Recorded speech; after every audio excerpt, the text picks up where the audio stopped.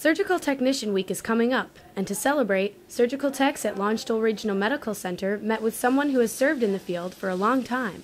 Been in the military 23 years. I've been a surgery tech for 12 years, and from 96 to about 2008 doing surgical tech duties. Go.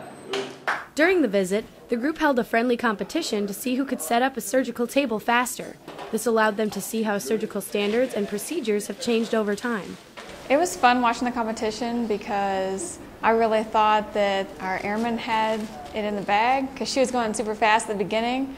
However, our chief ended up pulling it out. Oh! I think you got her. It was a great competition, old school against new school. So uh, a lot of the things that she did now, we weren't doing back then. So it's uh, just good to see the difference. Reporting from Landstuhl Regional Medical Center, I'm Senior Airman Ellen McCarthy.